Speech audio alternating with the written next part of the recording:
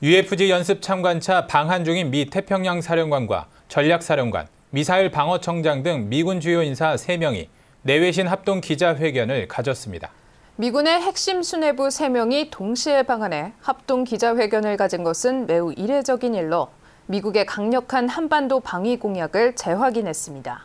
김지한 기자입니다. 방한 중인 해리 해리스 미 태평양 사령관과 존 하이튼 전략사령관, 세뮤얼 그리브스 미사일 방어총장 등 3명이 22일 오후 오산 미군 기지에서 합동 기자회견을 가졌습니다. 이들 미군 핵심 수뇌부 3명은 한 목소리로 미국의 강력한 한반도 방위 공약을 재확인했습니다. 존 하이튼 전략사령관은 미 전략사령부가 가지고 있는 모든 자산을 한반도에 제공해 북한의 도발을 억제할 것이라며 미사일 방어 체계를 포함한 모든 옵션을 고려해 한국과 함께 북한 미사일 도발에 대응할 것이라고 강조했습니다. 해리스 태평양 사령관도 미국은 언제든지 지역을 방어할 수 있는 태세를 갖추고 있다고 밝혔습니다. 하이튼 전략사령관은 장거리 폭격기를 포함한 전략 무기의 한반도 전개를 결정합니다.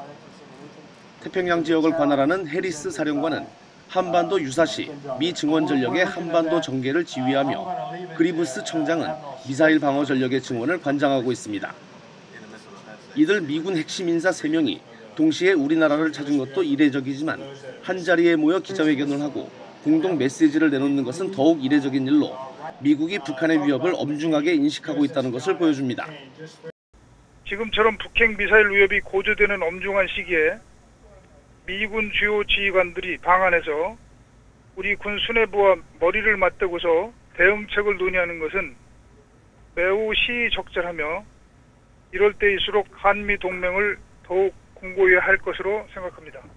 한반도 방위 공약을 재확인한 미군 수뇌부들은 외교적 해결을 강조하기도 했습니다.